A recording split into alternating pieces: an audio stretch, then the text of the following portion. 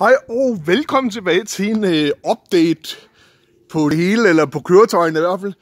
Øh, I kan sikkert huske øhm, øh, den lille røde ged her for, øhm, øh, for øh, min video i vintersag, hvor jeg lavede POV på den, øh, hvor den satte ud. Øh, øh, den, men den er så blevet fikset, det var vi fandt ud af, at det var en øh, cylinder, og så jeg tror faktisk også, jeg nævnte det i en af mine øh, mange øh, BIM-updates.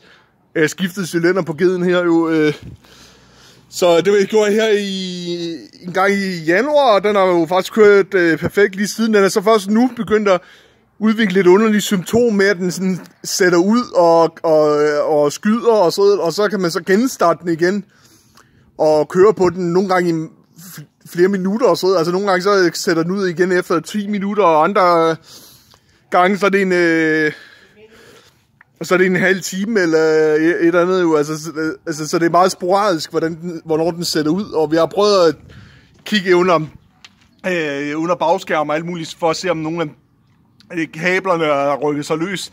Fordi det kan jeg huske, da jeg mm, havde motoren ude af den, og så der er de tidligere ejere overskiftet cylinderen, hvor de bare klippede alle kablerne og satte kabelsko på, og så fik vi sat ny kabelsko på den igen, da vi, havde sam, da vi samlede den igen, eller efter vi fik samlet den, og Øh, men den er så begyndt at have sådan noget, noget sjovt noget igen, enten sådan, hvor den simpelthen, øh, ligesom hvis der er noget til, stilleforbindelse, der ikke virker ordentligt, eller noget, der glider, så skaber en kortslutning.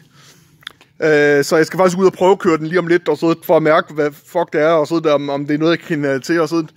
Men ellers så kørte den faktisk rigtig fint. Jeg er jo, vi er jo, mm, Martin har jo proppet mange kilometer på den, og så øh, øh efter vi skiftede cylinderen her i vinters jo, øh, og den kører også rigtig godt, og så der, øh, jeg har også kørt på den nogle gange, og så efter det øh, går faktisk rigtig fint. Altså, er sådan en ged at være.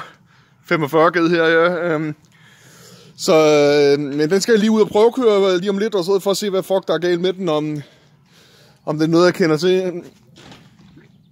Ja. Øh, og så Pachero'en selvfølgelig, den kører fint. Den har, øh, har jo også efterhånden proppet nogle kilometer på. Jeg har jo, øh, øh, jeg var faktisk i øh, Jylland med den her for noget tid siden. Jo, det var jeg øhm, med Lexusen og, øh, og X5 M'eren. Der tog vi jo Peugeot'en deroppe, mig og overlærer.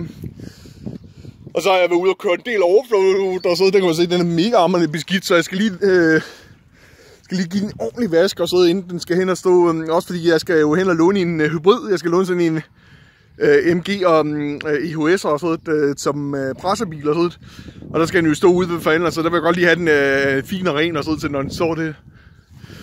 Øh, ellers så er jeg faktisk rigtig glad for den, og den, øh, øh, altså, der er ikke en, ja, ikke noget her med den og sådan øh, ikke andet end, den har en, begynder at have en, en langsom lækage for, øh, for pakdåsen i den ene ende af akslen i altså ved venstre baghjul, at den begynder at lægge lige så stille med, med, med, med, med, med olie ud fra akslerne. Det er sådan lidt irriterende, og så, så det skal have skiftet på et tidspunkt. Øh.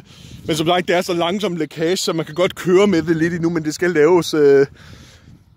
Så, så det var øh, lidt irriterende, men øh, ellers så, øh, så har jeg faktisk været rigtig glad for den, øh, og er glad for den stadigvæk. Øh ufattelig sjovt at køre offroad i, og så det, øh, altså det er vildt gode offroad-egenskaber, og så er det jo... Øh, så, øh, så det, øh, det er det, og, øhm, men jeg tror også, at det var alt for denne update, så vi ses om lidt her.